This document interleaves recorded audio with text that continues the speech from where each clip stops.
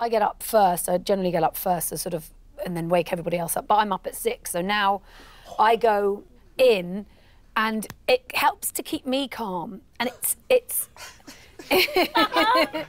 it's a way of incentivizing them to pick up the clothes up off their floor. Because if I go in their room to wake them up and they haven't tidied up their room, then I do the the, the I stage a, a tiny tidying opera. Which is Oh, that's good. Wait, oh, you like very that? good. So it's like, what is this? Oh, what is this? and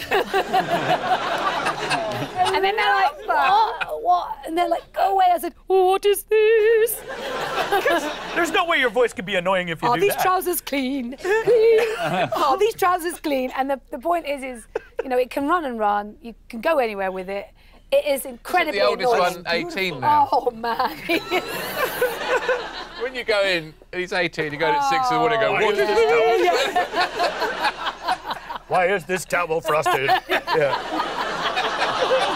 Oh, is it clean? You know, I'm like, you know, and then I'm kind of having a little bit of fun with the, you know, is it clean? Is it clean? You know, is it clean?